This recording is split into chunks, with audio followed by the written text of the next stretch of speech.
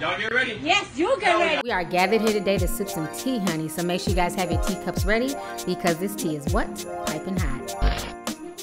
Hey, you guys. So for all your tea sipping needs, don't forget to check out lovelytea.net or amazon.com forward slash shops forward slash lovely tea. Thank you guys so much for the support in advance and stay tuned for the video. If you guys don't know, honey, Nas went off yesterday on social media. He was trending all over the trending topics. Folks were going crazy on Instagram. Usually Nas is very quiet about his personal life. You can't get too much out of him. When I tell you yesterday, honey, Nas was like, you know what? Today I got time, cuz. Today I got time, cuz. You lucky on that day I was acting cool, cuz. Nigga, what's up? How gangster are you, cuz? I don't fuck with you, cuz you, you disrespecting me. I don't fuck with you, cuz you, you disrespecting me. I go hard, cuz. Y'all know damn well I love that meme. I couldn't wait to use it. Yes, Nas had time that day, okay? He was not here for the foolishness. If you guys remember back in June, Kelis came out with her side of the story, basically saying that Nas used to hit her. He's an alcoholic and a deadbeat dad. She basically blasted him in front of the world. we were we were in love. It, he was drunk and he would black out and he was angry and he was mad and he would be mad about things that didn't make any sense. He would be mad about who I was going to go talk to. He would be mad about if we were at an after party for the Grammys or MTV or whatever. If like you know, if Jay said hi or a freaking like it's just too, I'm like I can't keep up with all of these things. Like these are not my battles. These are your. Ba- I don't even care about these people. I don't care if someone says hi. I'm like, what up? Don't give a damn. I don't like any of them anyway. Like w- really, like you know what I mean? Like not even personally. I just don't care.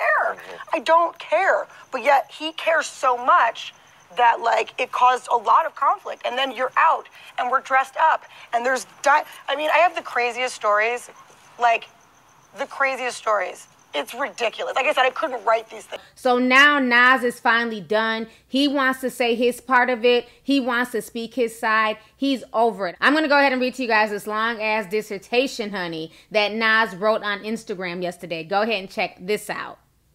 So Nas says the price I pay to see my son, and apologies in advance for all the typos, is I am speaking from the heart as a man who has had enough.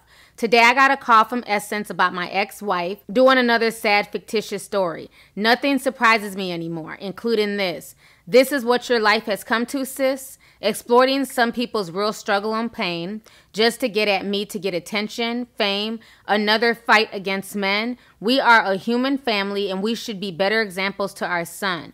Why is there even an issue for me to have any time with my son? A son needs his father. So many absentee fathers out here, and here I am being attacked by all your accusations simply because I got us in court to help fix the custody matter. Why did I have to take you to court to see our son? Why, when I win the joint custody, which is a win for both of us and our son, it helps with both of our schedules. Why do you feel that it's an attack on you? Is it control? Why do you need to have control over my life? Because we're not together? Then why? Is this being rewarded and praised by people who are being taken advantage of by you and your lies? To all separated couples out there who are cordial and co parent nicely, good for you. I wish that was me. I'm the most chill, cool parent there is. Who has time to argue about what? It's about our little guy. You haven't had to deal with what I've been dealing with. Trust me, I'm a mild mannered, God fearing, very fair human being who tries his hardest to please everyone. It's in my nature. I've seen too many times before. There are times I thought Kelis, my ex wife, was not this type. This is a type of antics that deceives people, and people mistakenly call it strong. Seems I've always had more belief in you than you have in yourself. I instilled strength in my daughter, who you were already so jealous of and treated poorly, being jealous and verbally abusive to a little girl. In life, you have to work hard to be successful, not try to tear someone down, for that's the most coward way. Women are the essence of life, and I cherish them. My strength is given to me from my mother, and I am everything she taught me to be. I was raised in a single home by a single woman, and I'm a very proud black man. I shouldn't have ignored the signs from your first song and video. I hate you so much right now but I thought you was beautiful. You came into my life at a time I was grieving for my mother's passing. You were a friend, and because of that, I wanted to marry you, and I did. We had a big, lavish wedding. Overall, there were too many good times. I have to say, I wasn't the most faithful husband. I was immature, and I'm sorry about that. But you bumped your own head, sis. Why do I have to live through a constant divorce? It didn't work out. Life goes on. I'm not coming back to you. You're married and I'm happy for you. And I'm an extremely happy black brother out here trying to make a difference for my kids and the next generation of young people who see me as a huge inspiration in the music, art, business, education, and so on. After 10 years of keeping my silence and during a decade of dealing with your hostile behavior and verbal abuse, even your stepfather holding you back from one of our physical violent attacks on me right outside your house this year while trying to pick up our son while he watched from the window, was my weekend and you denied me that because your parents were in town. I just went home. This has been my life for my son's entire life. Even our son wonders why you treat me the way you do. There's some seriously crazy things I won't disclose for our son's sake because you keep my son from me. I've been going through lawyers to stop you from this bullshit and I'm tired of it. I'm tired of you painting a bad picture of me. I've been tired of it, but you never seem to get tired. I even had to be in a relationship with you again after we separated just so I could see my son, and I'm just tired. Back then, you asked me why I didn't stop the divorce from happening. I tried. We are too different. Some things are not meant to be. We were meant to be so that we could have our son, nothing more. You didn't like that. I prayed for your peace of mind for years because you're an uneasy soul. I still do. I guess some things take time. You definitely don't need me now and probably never knew me. You make up this image of me that's not true, but it's funny because it's really you describing yourself. You made up stories about me and claimed I did things that you did. I hate all of this, but you were a very jealous wife, and I had to deal with all of that. And that's the worst feeling. How much heat I had to take from producers, writers, music attorneys, record execs who felt your mean spirit wrath, dropped you from labels, from Star Trak to all of them. I stopped talking to Jungle and Steve Stoute because of you, and almost lost Anthony because of you. You used to turn my phone off so my professionals couldn't reach me and take the battery. You insulted anyone who ever was around me. Not a single person in my life loved or could even stand you. Luckily for you, our assistants all signed NDAs or you would have a list of men and women who would happily talk about how verbally abusive and evil you are. Your self sabotage your ways has caused you the grief that you're dealing with, not me. The altercations you speak of are no more different from most normal couples go through, but your exaggerated version is just unjust. Whenever one is constantly attacked, and the instinct is to restrain that person or defend yourself to prevent escalation, in hindsight, now my advice to young men out there in this situation like this is to run at the first sign of verbal abuse or physical. I heard you said terrible things about me. It makes me feel sad how heartless you can be. You play with strong women's struggles like they mean nothing. You're taking advantage of a moment in time where women who are fighting for their lives to get justice and being treated fairly. You just looked at it as an opportunity to get ahead. Like abuse is a game, like tearing down your son's father is a game. You have a son. Why are you still competing with me by telling him bad things about me? Guess what, sis? He has eyes and ears and is smart as ever. I don't have to say anything. I think he knows what's really good. You will not stop me from fighting for my son. You tell him God doesn't love his dad because his dad doesn't go to church. Didn't want to bring up money, but since that's the fuel behind all of this, let me say that I gave you the tools to be successful after you were dropped from your label. I paid for cooking school at Cordon Bleu, that expensive yellow stove that we had flown in from Europe. I helped pay for the remodeling of your house. Your assistant stole thousands from my credit card, according to American Express out of all the people you should be completely understanding of my grind but you can't win with you my schedule is crazy, but you never help me see my son. I'm hardly allowed to talk to him over the phone, ever. My lawyer told me to bring cops to your house and show my court orders when you don't let me get him or answer your phone. But who besides you wants to show their kid that that parent is out of control? I've been going through lawyers to stop you from this bullshit for years. I finally got our custody together to work with our schedule through the court. While leaving court, you tell me that you're going to get me back for fighting to see my son, and three weeks later, you're on camera doing an interview about your truth. Interesting timing. Do what you want. Just don't violate another court order, sis, because the judge won't like that at all. The judge already ordered you to pay my legal fees because he was tired of you wasting everyone's time in court.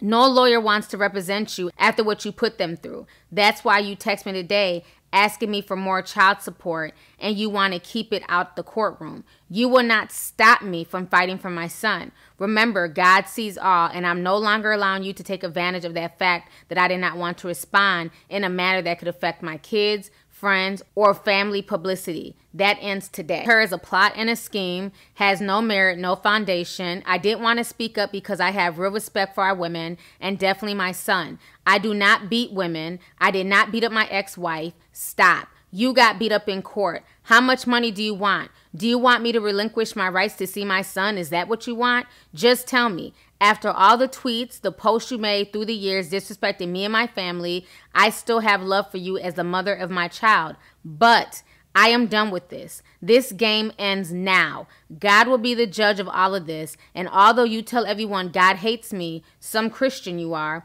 I will survive and I will thrive from this moment because I know who I am and you have no clue who you are. And to all the fans that know my silence was due to the fact that I don't openly do this kind of petty shit, I appreciate you writing. And to those who were led down the wrong path, I get it. Very sensitive times, and all things must be taken seriously. This is my truth. I don't care what else she has left to say unless it concerns our son. This is the first and last time I'm addressing this. Despite all of this, I still hope for the best for her because what's best for her is best for Knight. Love, Nasir bin Olu Dara Jones. Oh shit! Woo! That was some damn long ass reading. I told y'all. Now I said today I got time. Today I got time, cuz. Today I got time, cuz. When I tell you Nas is not here for the fuckery, and I am so glad that Nas is telling his truth.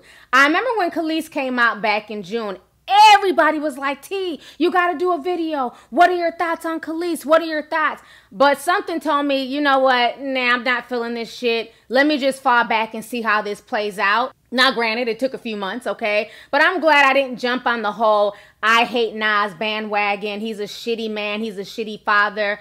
At the end of the day, like I always say, there's three sides to every story, okay? His side, her side, and the truth, okay? I don't know what exactly transpired in their relationship, you know what I mean? But one thing I do know is that all these years that Nas has been in the public eye, he's not a messy person. You don't see him ranting on Twitter. He's not the 50 Cent of the internet. He's not, you know, always in beef. Nas does him. He's very, very low key. And I also feel like that's probably why his relationship with Nicki did not work out because, you know, Nicki is so, you know, loud and she likes to be out there. She likes to be seen. Nas is a very, very low key person. He doesn't like his business out in the streets. Um, you know, just a really nice brother. I met him one time in Studio City going to the grocery store, you know, and I was like, hey, Nas, you know, he just stopped and spoke. He didn't have security around him. He was just like with the female, you know, just really, really low key dude. You know what I mean? If I wouldn't have did a double take, I wouldn't have realized it was Nas, you know? But it's really sad that it's come down to this, you know what I mean? No woman should be using their child as a weapon. It's not okay. At the end of the day, it takes two to make a child mother and father. And I understands relationships and and especially when infidelity is involved, it can cut you to the bone. It can make you question yourself as a woman. You know, it can really tear down your spirit. Trust me, I've been there. But that's never an excuse to keep the child away from the father. At the end of the day, any mistreatment of the mother, that's between the mother and the father that doesn't have anything to do with the children. And you know what's so crazy is that there are people now coming out. One of the nannies, she said, fuck that NDA bitch. She came out onto social media and she basically is verifying everything that Nas said. So I'm going to go ahead and read to you guys what this nanny had to say. Go ahead and check this out. So the nanny says, What Nas is saying is absolutely true. I was Knight's nanny the first years of his life. We were instructed on several occasions not to answer the door when Nas was coming, to not answer his calls or to shorten his visits, etc.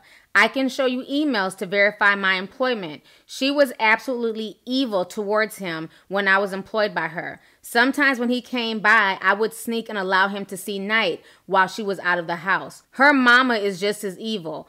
Ooh, I can't stand that woman. Honey, we gonna need to see them damn receipts, nanny, okay? So that was the nanny just leaving a comment in the comment section and it got screenshotted. You know what I'm saying? So it looks like there's some people coming out to verify Nas's story. You know, at the end of the day, this entire situation is sad. You know, I don't really too much care about Nas or Kelis. They're grown. My issue is that their son, Knight, is suffering, okay? He needs to be around his father just like he needs to be around his mother. He needs to learn what a healthy co parenting relationship is, okay? And I think that, you know, from what Nas is saying, that Kelis is very bitter because the marriage did not work out and Nas does not want to be with her and it bothers her and her career has not gone to where she thought it would be. Let's keep it real. You know, Kelis is not the Beyonce of their relationship. Nobody really is checking for Kelis like they are checking for Nas. And I feel like that might have caused some friction in their relationship possible jealousy, especially when he's, you know, ruining professional relationships and not allowing him to answer the phone. And, you know, when she got dropped from her label, sometimes the person that you sleep with can be an enemy in disguise. You know, sometimes your partner can be jealous of your success, especially when they see you elevating and growing. It can make them feel some type of way. I've experienced this, and just like Nas said, I agree with him. When you start experiencing verbal abuse, when somebody starts, you know, trying to kill all your dreams and say that your dreams ain't and, you know, not being supportive, at that point in time, it's time to run, okay? You don't need that energy vampire in your life because all they want to do is just suck your energy and they want to keep you as low and as miserable as they are. You know what I mean? So this entire situation is just really sad, you know, but I'm glad that Nas is speaking his truth and it must be really, really bad for for him to go onto social media and write that long ass damn dissertation, honey, that I just damn read. And part of me was like, I don't want to read this shit again. Let me just have y'all read it. But I felt like I needed to read it so you guys could get the scope of what he says. I feel like when I just post it and being that it's so long, a lot of y'all are not going to read it.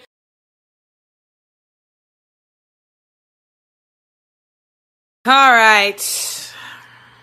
Let me read this seven part Nas lament.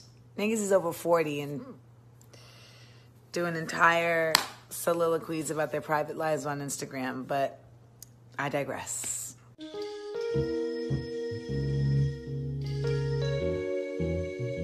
I got three posts in. I I couldn't. I I don't know. I guess maybe if it was an interview, it would feel more genuine. I just I I don't. I don't know.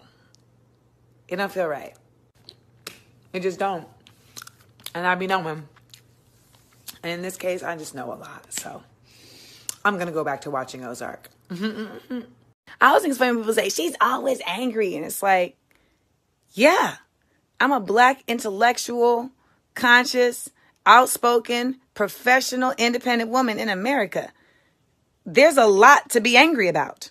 So I wanted to read it to you guys. And that is a man who's hurt. That is a man who's speaking from his heart. And that is a man who's telling his truth as he sees it. Just like Kelis was allowed to tell her truth as she saw it back in June, okay? So what's good for the goose is definitely good for the gander. If Kelis can get on Hollywood Unlocked and cry and, you know, tell her side, Nas definitely has every right to speak his truth and tell his side of the story as well, okay? So anyways, y'all, let's go ahead and get the discussion popping. Go ahead and leave a comment. Let me know your thoughts on this entire sad situation concerning Nas and Kelis and just all this drama with Kelis supposedly not allowing him to see his son. And then how do you guys feel about what the nanny had to say? Do you feel like she's telling the truth in this situation? And who do you believe? You know, do you side with Kelis? Do you side with Nas? Or are you like me, somewhere in the middle, just waiting for more facts and more tea to spill, okay? So, anyways, y'all, let's go ahead and get the discussion popping. Go ahead and leave a comment. All right, deuces.